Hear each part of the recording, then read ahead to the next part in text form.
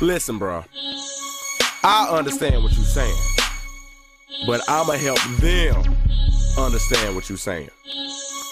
Basically, this how the girl be. Where? Who? You been where? Where who? Mm, for real. Oh, really? That's how you feel? And the guys be like, asking all them questions. Asking all them questions. Why you asking all them questions? Making statements. Assuming. Asking all them questions. Asking all them questions. Why you asking all them questions? Making statements. Assuming. Uh, where you been? How much? How, how much did you spend? Yeah, I trust you. Now unlock your phone. Uh-uh, uh-uh, who is this?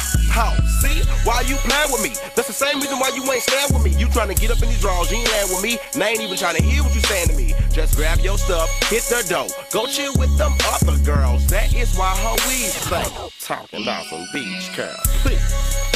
She ratchet? That's why I'm pregnant. And you the peppy? Uh-huh. Looking stupid. That's what you get. Walking around here lying, thinking that you're slick. but you dumb. You stupid?